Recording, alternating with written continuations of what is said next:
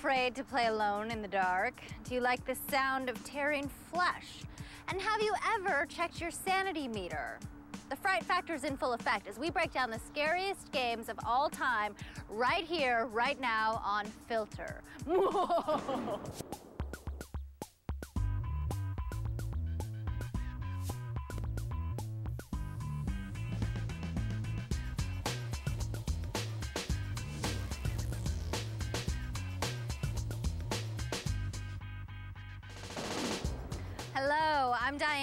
And welcome to Filter, a hand-picked top 10 video game countdown as voted on by you, the viewer, at g4tv.com. We're at a cemetery in Los Angeles, California for a very special episode of Filter on some of the scariest games ever. If we're going to talk about the games that jar your spirits, then why not do it from a place where they jar up spirits? What makes a game scary, and what are some of the scariest games of all time? Here's what a few people had to say.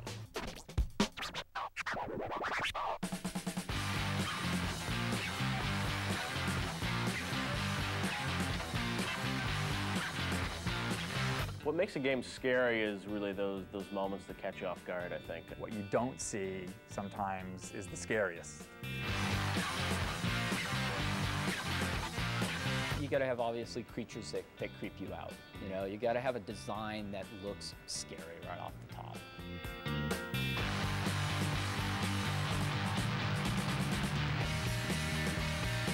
graphics now are so good that it, de developers are able to come up with some really frightening imagery of ghosts and mangled bodies and blood and guts everywhere. Storyline, it's the, uh, the graphics behind it, um, the atmosphere that we're looking for to get something that'll grab people by the throat and kind of give them a little bit of an excitement. A game can, can suck you into its atmosphere and get you going along and thinking something is very calm and then all of a sudden surprise you in a, a horrific way, then it's accomplished that.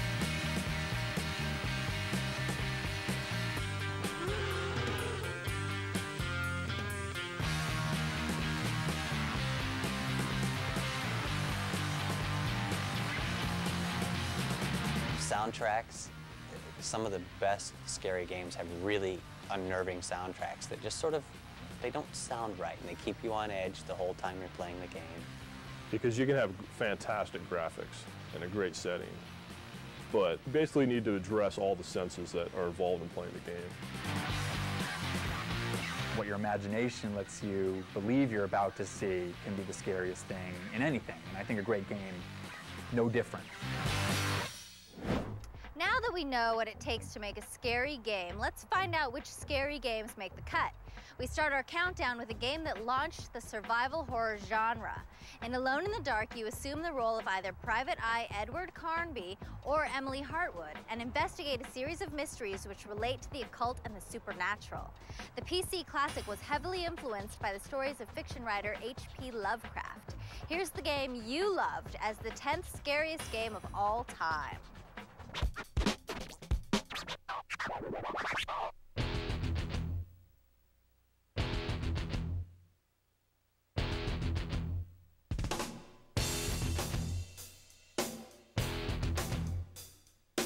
Well, the original one is what all the Resident Evil games are spawned from. It's the quintessential first ever survival horror game, and it definitely set the pace for everything else. That game was the originator of all this, you know, survival horror. It was, you know, really slow-paced game. You're not a superhero guy, you know. You don't have the shotguns. You don't have all like these crazy machine guns running around. He was just like a normal person, you know, trying to survive, trying to figure out what's going on and it played on your mind, you know, what's going on in your head, trying to keep your sanity playing this game. It just, it just freaks you out, it messes you up.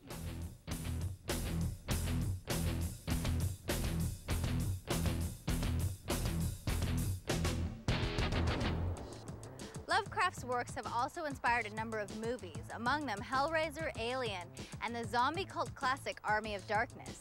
Speaking of zombies, how about we gun down a few with the game at number nine?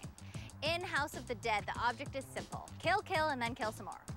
With a constant barrage of dirty monkeys, winged canine mutants, and flesh-eating zombies coming at you, the first-person shooter is sure to leave your trigger finger sore and your heart rate soaring. And when a game is this good, Hollywood's sure to come a calling. Mindfire Entertainment has stepped in to make a movie version of The House of the Dead. Here's a quick behind-the-scenes look.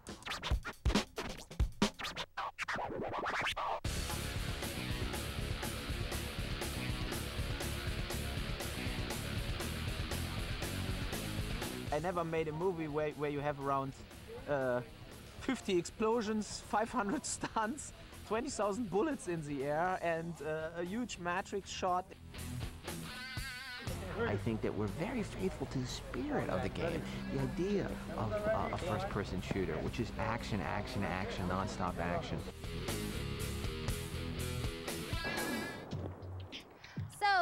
Example of a game turned movie. Our next title did it the other way around. Based off the phenomenally popular film franchises is Aliens vs. Predator 2. The game's fright factor owes a lot to the music, which changes from subtle to dramatic whenever a battle intensifies. But the terror is in the lighting, or lack thereof, I should say. Strobe lights, red security lamps, and shoulder mounted flashlights light the way by keeping you in the dark. Here's the game you chose at number 8.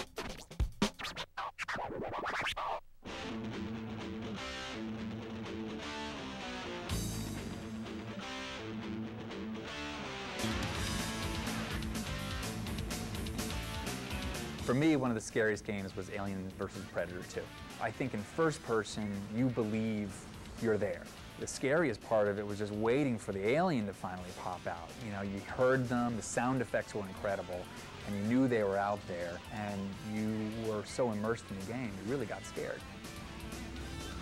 If you're playing as a Marine first person, you're looking around for this alien, you see a little motion sensor, you hear claw marks rolling around, you turn around, and the alien just bite off the guy's head. It's not as scary if you play as an alien, because if you're the alien, you're scaring everybody else. But if you're playing as a space marine, you're cruising around and you're hearing your, your comrades getting killed. Come on, that's scary. Who kicks more butt, the Space Marines, the Aliens, or the Predators? Well, you can decide for yourself because the three single-player modes allow you to play as each. Okay, we're gonna take a quick break, but when we come back, we'll keep counting down the scariest games ever. Does Clive Barker's Undying take the top spot, or is it a different kind of undead that brings home the bacon? Find out right after this when Filter returns.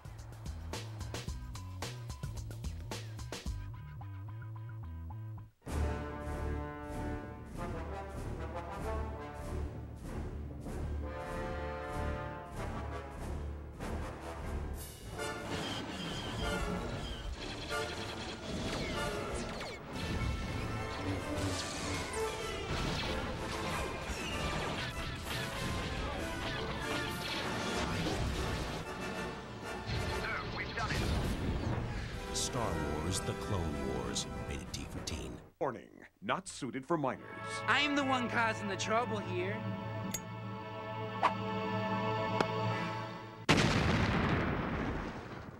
The single most offensive movie ever made. Yeah, that's give a thumbs up, you know, in the words of Michael Jackson.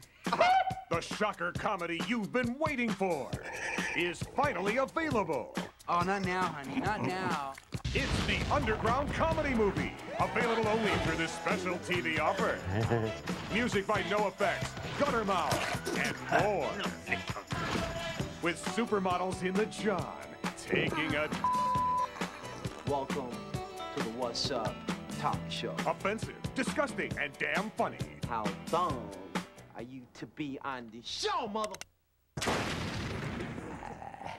With Gena Lee Nolin being naughty. Michael Clarke Duncan as the gay oh. virgin. Because I'm saving myself for the right man. And Mr. Right White is right here. That's Take not me. you know. Slash and Joey Buttafuoco. The underground comedy movie is available for only $19.95. Composed of brutal, in-your-face ah! skits such as the Porno Review, oh. Arnold Schwarzenegger, ah. Virgin Hunter and Friends, Donna of the Dead, Dickman Fights Lesbians, and much, much more footage we can't show you on TV. Ah. The censors won't allow us to show you how far this movie really goes. The Underground Comedy Movie is guaranteed to offend your money back. Only $19.95. Order now and get a bonus video absolutely free. That's two videos for only $19.95. Don't wait. Call now to guarantee the bonus video. Can't charge it? No problem. Debit it. Also available on DVD. Call the number on your screen now. Must be 18 years old to order. Warning do not attempt any of what you are about to see.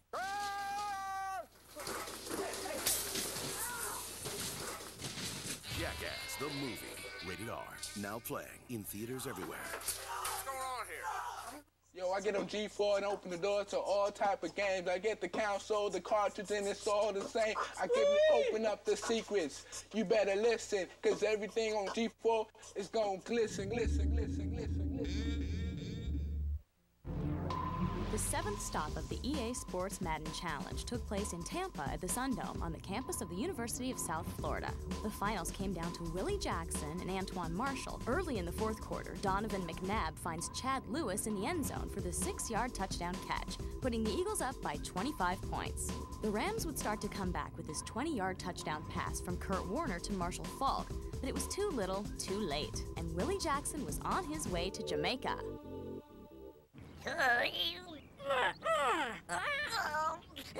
That's it. Lip, lip to the right. Oh! Oops. Welcome back to Filter. I'm Diane Mazzotta, counting down the scariest games ever. The rankings for Filter shows come directly from the responses you post on the G4 website. To make your vote count, log on to g4tv.com slash filter and select the filter rater. Then choose a category, vote on a scale of 1 to 10, and we'll take care of the rest. While you're there, be sure to post your suggestions for topics and games you'd like to see covered in future episodes. We've only begun to highlight the games you're afraid to play in the dark, so let's keep moving. At number seven, we have the gothic action game Devil May Cry. As the lead character Dante, you'll go up against scissor-wielding witches, faceless enemies, and dolls with razor blades. Forget the razor blades, it's the dolls that creep me out.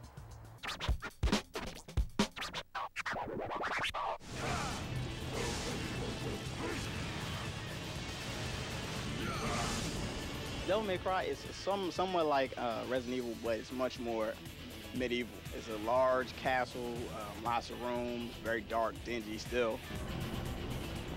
Even when you go outside, it's it's it's kind of spooky. A lot of uh, fog sitting around, a lot of weird things just kind of crawling around.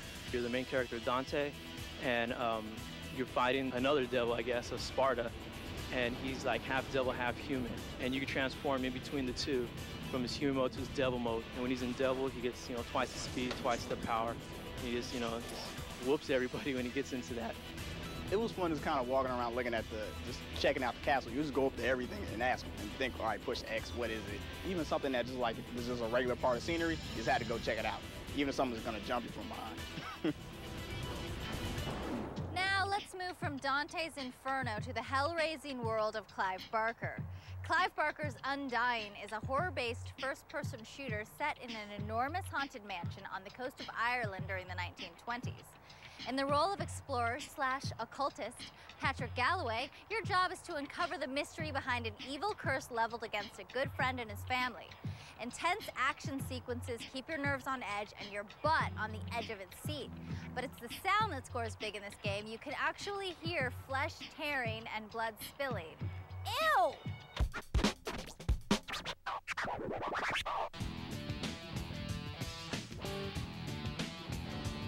I think Clive Barker's Undying had some truly creepy moments. Like there's one moment where you're walking down a hallway and you see the drapes from the windows, you know, fluttering, and you kind of hear the wind whispering by you. I mean, even the artwork in that thing was pretty scary, disturbing. It was just, you know, dark, brooding kind of look, and there was a lot of tension all the time while you were playing the game.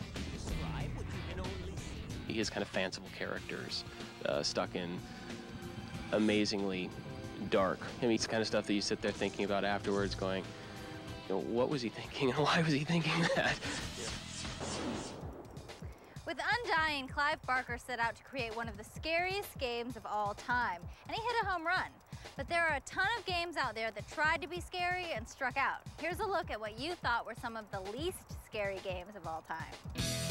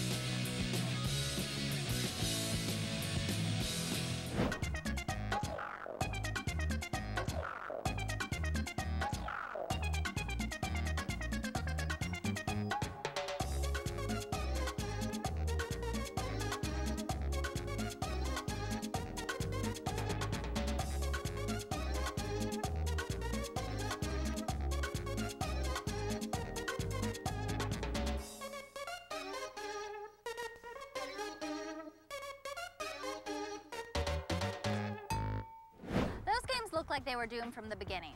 And on that note, Undying may be Clive Barker's baby, but Doom is its daddy. Though Castle Wolfenstein is on record as the initial first-person shooter to be released, Doom is the game that made a lasting impression. It scared you out of your mind and into a fresh change of pants, while laying the groundwork for countless imitations to follow. Doom chimes in at number five.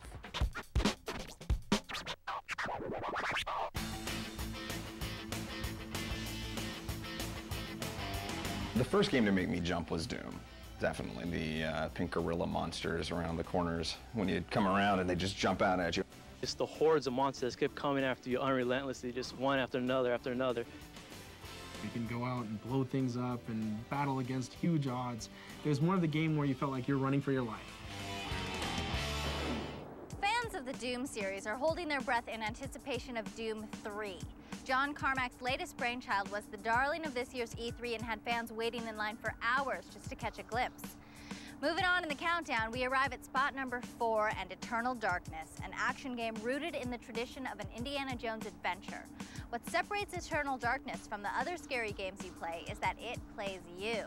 The game features a sanity meter, and as it goes down, your sense of reality goes up in flames.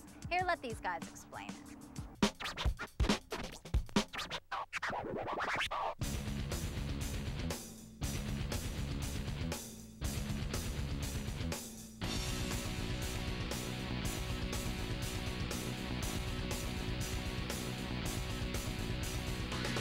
Eternal Darkness is an interesting game simply because it doesn't go for traditional scares, it just messes with you. So you'll be playing and strange things will start to happen, like your TV will go mute, or the TV will shut off, or uh, all of a sudden the, the game will crash. What the heck? And it's just, you know, a faked element of the game.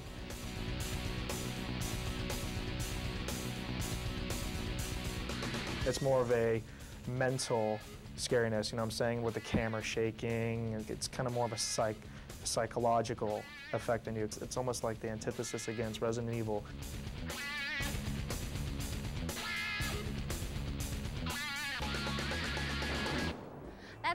Meter makes for some pretty scary moments, but what game do you think has the scariest moment? When we get back, we'll take a look at the scariest moment in a game. And with only three games left on the list, it's a tight race for trophy. Did you speak up for Silent Hill as the scariest game of all time, or did you award the photo finish to Fatal Frame? Find out who comes out on top when Filter returns.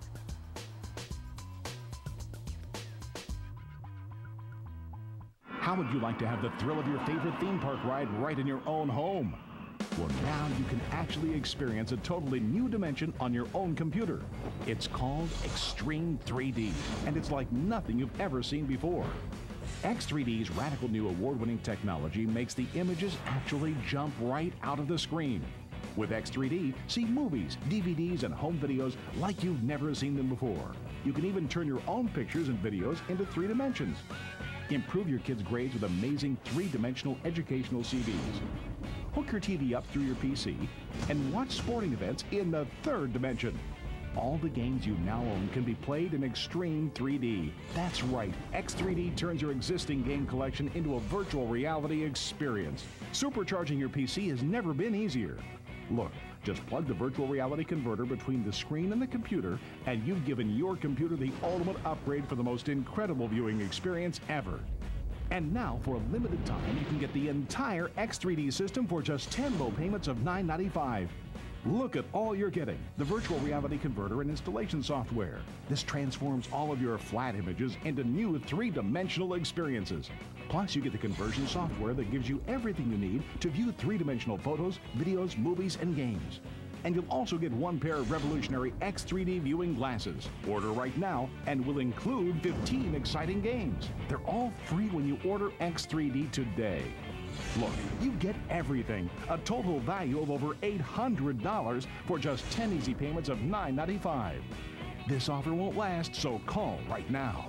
Call 1 800 490 5566. X3D has a 30 day money back guarantee, less shipping and handling. So if X3D isn't the best home 3D system you've ever seen, just send it back. No questions asked. Call 1 800 490 5566. That's 1 800 490 5566.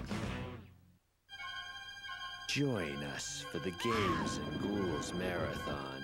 Eight solid hours of G4's haunted Halloween. Continuing next.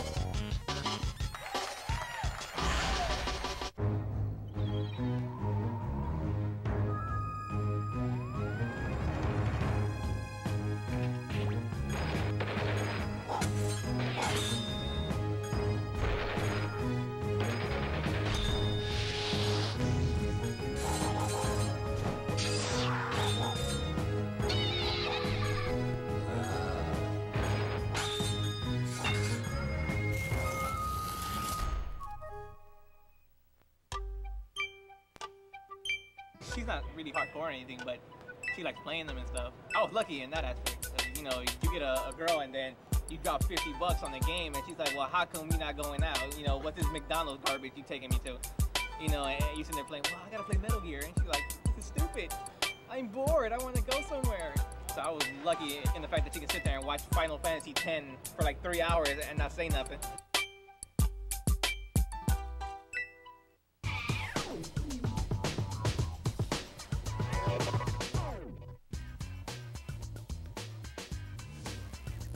Welcome back to Filter. I'm Diane Mazzotta, and we're counting down the scariest games ever. It's down to the last three spots. But before we move on, let's get a quick recap of the games we've shown so far. Alone in the Dark kicked off the action adventure craze, and it kicks off our countdown at 10. House of the Dead takes up residence in the number 9 spot. Aliens vs. Predator 2 rips humanity a new one at number 7. Burning Fires of Hell rage for Dante as Devil May Cry engulfs the 7th spot. Clive Barker's Undying lives at number 6. Doom's Your Daddy, it's number 5. And game number 4 leaves us in eternal darkness. Well, not. Still three games left to shed light on, so let's keep moving.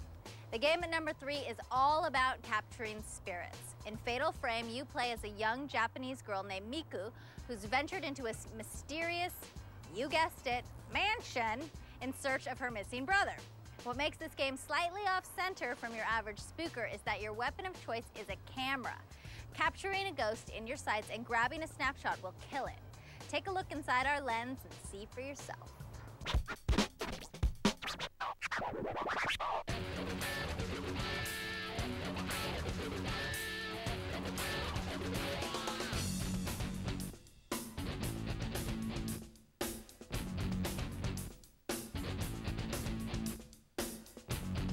Use a great combination of uh, a new take on the like Resident Evil style kind of gameplay, but then they have great little details. When I was playing the game and I was in a completely silent area, I kept hearing this weird humming noise. You hear something, humming noise, something in the background. If you turn the volume up, there's actually a lot of background actually talking, so that's kind of spooky. It was very, very dark, very disturbing, and it was a very classic ghost story. And I haven't seen a video game do a ghost story without guns, and this one did it, and it did it effectively.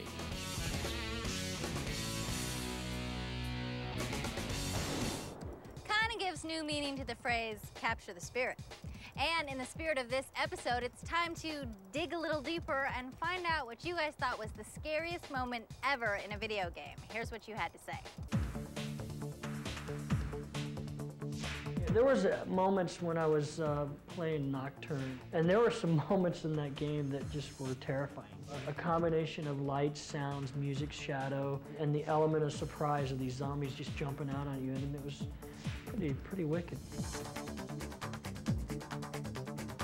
I, I think it's a shared moment. I think the first time anyone saw the dogs in Resident Evil for the first time, a lot of people filled their pants right there. You walk through this hallway, you know, you've walked through it before and nothing had happened, and there's these big windows, and suddenly, crash. Dog comes lunging through the uh, glass.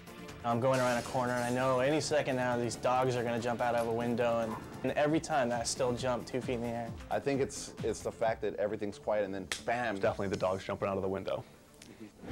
It makes sense that the dogs tweaked you out the most because they're in one of the games that freaked you out the most. When it came to the scariest games ever, the Silent Hill and Resident Evil franchises topped your list. While both games shred your nerves, they do it in different ways. The first messes with your head, while the second messes with your heart. In the Silent Hill series, you roam the pitch black streets of an abandoned town solving puzzles while trying to stay alive. You'll face winged demons, skinless dogs, and a host of psychopaths. But it's your brain that takes a beating in Silent Hill. The game's creators actually designed it to frighten people on an instinctive level. In the Resident Evil series, it's not so much instincts as it is reflexes. The big scare tactic in these games is the boo factor, with zombies and dogs pouncing on you from out of nowhere. Sure, the scares may be cheap, but the memories are priceless. Everyone remembers the first time they played Resident Evil. It's time to turn down the lights and see who's packing more fright. Silent Hill goes up against Resident Evil in yet another filter face-off.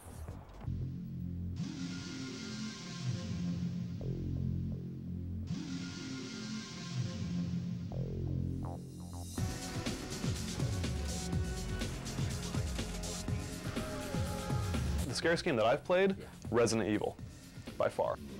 It's uh, shockingly scary, um, to the point where I'm a grown man and I can't play it alone. I saw a guy crouching down on the ground, walked up to him, turned around, a zombie with blood all over his mouth. It's almost like you're you're dropped into the middle of a horror movie. And just with the lightning and the sound and ambient sound effects, you're just like, oh, hey. I mean, it really sets a tone. To be a zombie standing there like in the dark, but they don't really move towards you until you get somewhat close to them. And then like I'll get closer to where this zombie is and he starts moving and it freaks you out because it's like nothing's supposed to move at you. It's like everything's cool and then boom, all of a sudden you're, you know, you're toast. I like Silent Hill 2 to be a little scarier for the simple reason that I think that they got the fog effects to be a lot creepier. Now let's be reasonable, fog's scary. It was just realistic. You know, you got that creepy little girl running around the town. You got the environment. You know, it's a small city, but there's no one there, and you know something just ain't right, and it sits in the back of your head. And they play on that with the music and the settings and the, the way the game progresses. The game's basically designed to scare the pants off you. What the hell is it? I know most people think about being scared as that moment when something jumps out at you. That's sort of the shock part. But for me, the scariest moment in the game is the opening sequence in Silent Hill 2.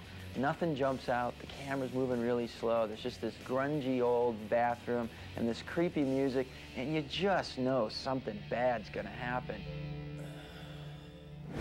So, is it Silent Hill or Resident Evil? Both have reason enough to be the number one choice. However, the polls are closed, your votes were counted, and the series you chose as being the scariest is. Resident Evil.